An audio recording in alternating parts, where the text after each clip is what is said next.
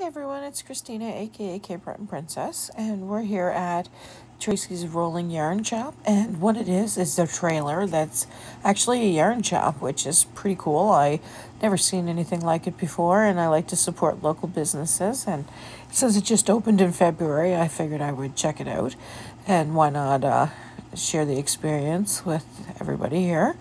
So as you can see, they have many, many colors and different uh, types of yarns and stuff. And the location is in Dominion at 40 Neville Street. And they also have a Facebook page, which I will include a link as well.